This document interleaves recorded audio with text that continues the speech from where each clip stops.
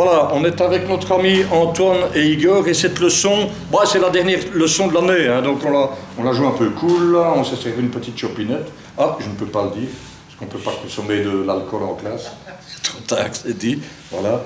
Euh, mais donc, en fait, ici, c'est, cette leçon fait suite à ce que j'ai vu avec Igor la fois dernière, à savoir le Kejit en tonalité de Do.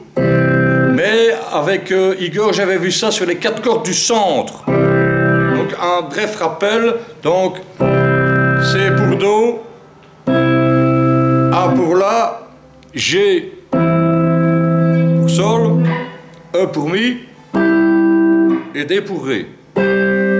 Donc on jouait chaque fois sur les quatre cordes du centre. Ici on développe euh, un, un autre jeu. On joue sur les quatre petites cordes donc voilà, ça c'est la position, la première position, la forme du, Do, C.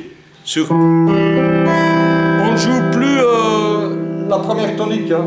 donc on libère le doigt 3, et c'est tout l'intérêt de, de, ce jeu-ci, justement, c'est de récupérer les doigts pour pouvoir jouer des enrichissements d'accords. Donc montre un peu le...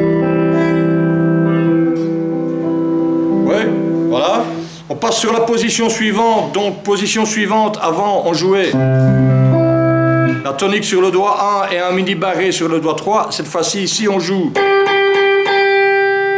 Je pense que c'est la quinte, ça. On passe la première corde en troisième case, et là, on ne sait plus jouer de barré. On doit faire trois pincées.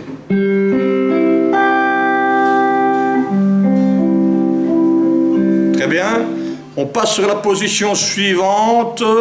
Donc, euh, les trois pincés, on les remplace par un barré sur le premier doigt. Donc, euh, on barre quatrième, troisième et deuxième corde.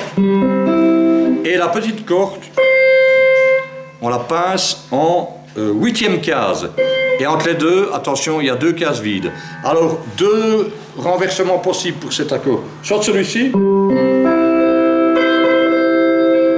soit le petit doigt qui mini-barre deux cordes, et à ce moment-là,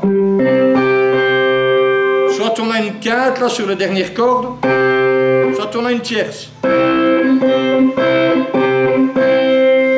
quoi chez toi ça Voilà les deux versions.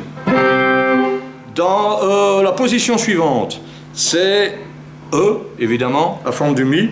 Donc celle-là on la connaît, hein, elle est très familière. Dans euh, la version rétrécie sur quatre cordes, elle ressemble à ça.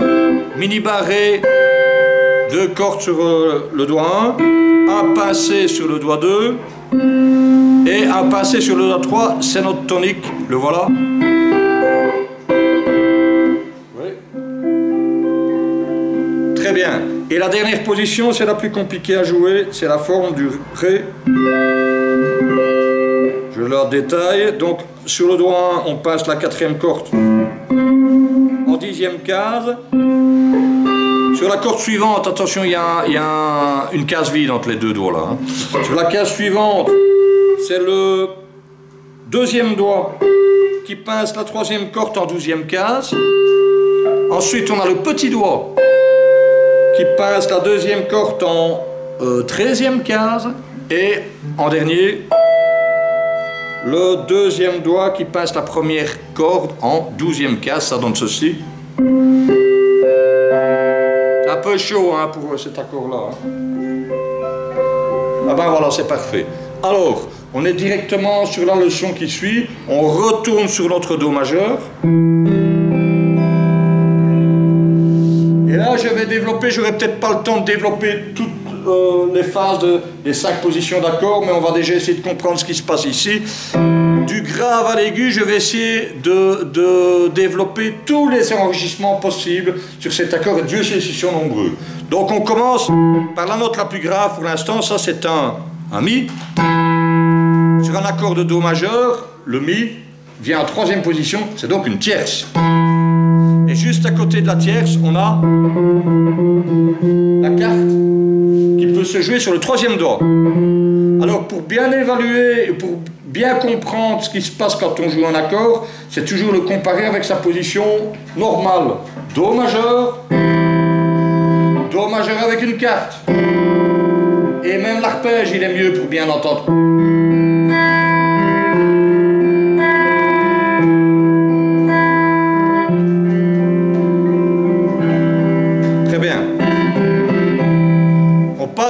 L'enrichissement suivant.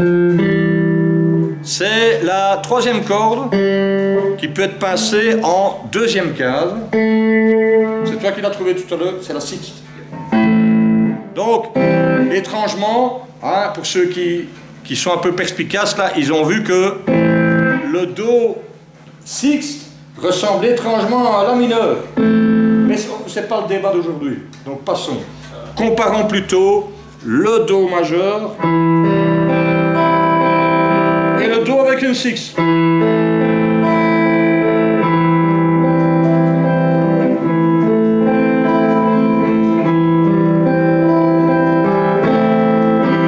Très bien, on passe sur le- l'enrichissement suivant. Donc j'avais 6. Juste à côté, j'ai la septième mineure. Alors, comment est-ce que je peux la jouer? Bah, Je peux la jouer avec le troisième do, tout simplement. hein. Alors, j'ai oublié de le préciser hors caméra. En fait, ça, c'est un, un dominant 7. Donc, c'est-à-dire, c'est un accord majeur avec une septième mineure. Donc, euh, c'est les fameux accords du blues, hein, ça, que- qui peuvent... euh, Do majeur, dominante 7. Ça sonne très blues tout de suite. Hein. Essayez un petit peu pour voir.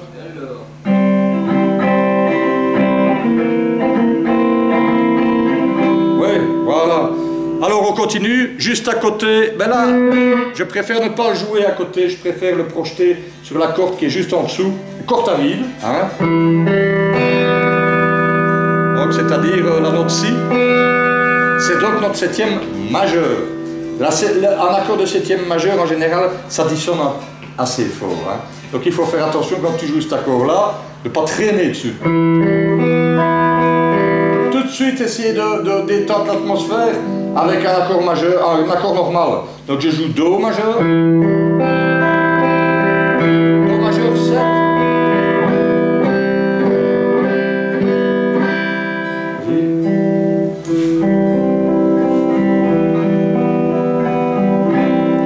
Très bien. On continue, hein, on est arrivé. Donc on était sur Do majeur 7, on retombe sur la, la- la tonique à l'octave, sur le 1, et après on a le 2, comme le- comme l'a très bien trouvé euh, Igor tout à l'heure, mais je préfère dire, comme on est dans la seconde octave, je vais remplacer 2 par 9. Est-ce que c'est clair dans l'esprit de tout le monde, ça, 9 Oui, hein. Donc ça c'est Do majeur, Do neuvième.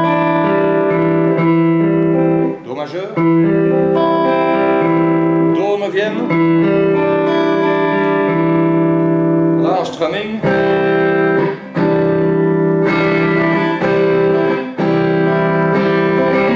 Ah. Ça va pour le toi le Do neuf. Très bien, ok. On passe à l'enrichissement suivant. Après 9, j'ai 10, mais euh, 10 ça correspond à 3. Donc ça fait partie de l'accord, c'est pas un enrichissement. Par la note là, première corde sur la première case, un Fa, tu me l'as dit tout à l'heure hors caméra, c'est une carte. On peut même garder carte à l'octave, 11. On peut considérer que c'est une onzième. hein.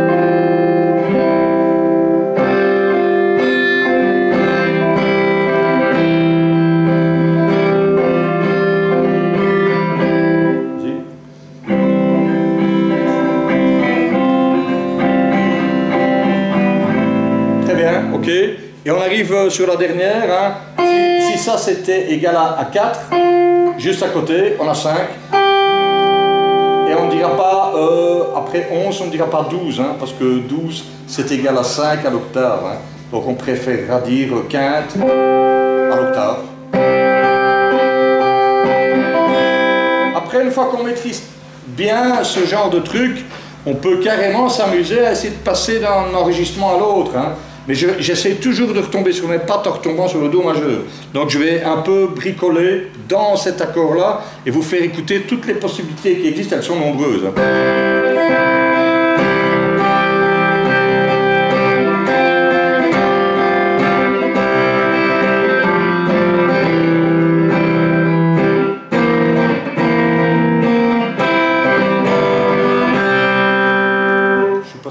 Toutes les couleurs, hein, tu vois, j'ai mis de la carte, la 9e, la 11e, machin, etc. Voilà, donc malheureusement on n'a pas le temps, on aurait dû développer ça sur les autres positions, hein, mais j'espère qu'on aura le temps de le faire l'année prochaine si on, si on est dans de bonnes conditions et qu'on se revoit, et, aussi euh, quelques petits exercices ou prendre euh, des analogies avec des morceaux célèbres existants. C'est toujours ça qui est bien. Voilà. Voilà, donc euh, ça, ça clôture le Keiji enrichi, on va dire, hein, sur, euh, en tonalité de Do. Hein, donc, euh, dans des prochaines leçons, il faudra quand même qu'on en parle. C'est faire la même chose sur ces positions aussi. Hein. Un petit avant-goût, tu vois, sur celle-ci. Sur celle-ci, il y a pas mal de choses aussi sur la forme du sol.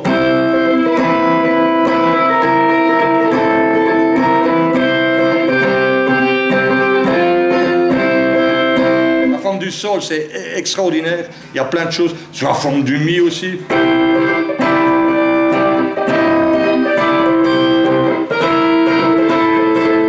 Et sur la forme du ré, bien sûr. Il y a, il y a plein de choses. Mais ça, j'ai pas le temps de développer aujourd'hui. On verra dans, dans, une future leçon. Quoi. Voilà les gars.